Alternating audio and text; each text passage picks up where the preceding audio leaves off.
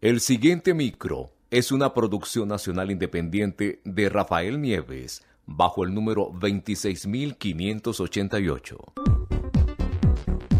Gerencia para Todos y Rafael Nieves están en acción con soluciones para alcanzar tus objetivos, estrategias productivas, economía, finanzas personales, emprendimiento, seguros y consumo inteligente. Esto es Gerencia para Todos, aplica la gerencia en tu vida productiva. Soy Rafael Nieves, quiero agradecer a todas las personas que nos siguen en nuestras redes sociales, arroba Gerencia para Todos en Twitter e Instagram. Y estamos en esta serie especial sobre liderazgo con el señor Carlos Sicilia, humorista, pero también analista, periodista y con mucha experiencia en el tema de, liderazgo, en el análisis del liderazgo.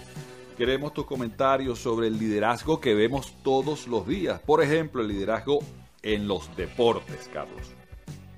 Bueno, el liderazgo deportivo es uno de los más eh, mm, paradójicos o representativos de lo que es la naturaleza humana porque se presenta una situación que es típica. Eh, tú tienes un equipo tuyo de gol favorito y entonces de repente ese equipo está ganando y ganando y ganando y ganando. Obviamente para ganar hay muchas jugadas importantes, este, hay, jugadas de, buen nivel de, de los jugadores, etcétera, etcétera. Entonces cuando estás este, en esa racha ganadora, es muy fácil decir que se gana gracias a, oye, que mm, los jugadores son los que están haciendo el esfuerzo. ¿Qué pasa cuando el equipo pierde? ¿Qué pasa cuando el equipo llega al último? El manager es una porquería. Eso no puede ser, o sea, eso es muy injusto. Pasa en el fútbol también. Claro, y pasa en el fútbol, y pasa en casi todos los deportes. ¿Ves qué lo que pasa? Que cuando uno es fanático de un equipo, uno es eh, de alguna manera gerente de su propio fanatismo, y entonces como líder de su propio fanatismo, uno tiene que ser un líder equilibrado. Entonces, no hay nada peor que el fanático ciego, que no quiera ver absolutamente nada. O sea, no puede ser que yo, si soy de los Leones del Caracas, este, y el Magallanes gana 25 a 0, yo no puedo decir como fanático de los Leones del Caracas que eso fue suerte, ¿entiendes? O sea, eso hace el ridículo.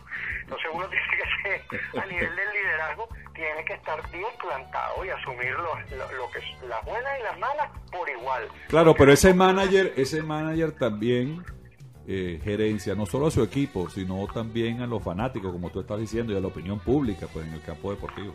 Exactamente, exactamente. Entonces es necesario que haya, para, para que este, haya una, una eh, ¿cómo se llama?, interpretación correcta de la responsabilidad, porque en el fondo la palabra liderazgo y responsabilidad están indefectiblemente vinculadas, es imposible separarlo. O sea, un líder es simplemente un manejador de responsabilidades y la maneja bien o la maneja mal, punto. Es así, esto es herencia para todos, obra como la naturaleza.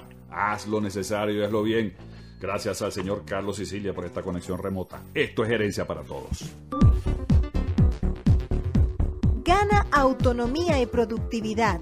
Conéctate a gerenciaparatodos.com. Prensa, web, radio y televisión. Síguenos en arroba gerencia para todos.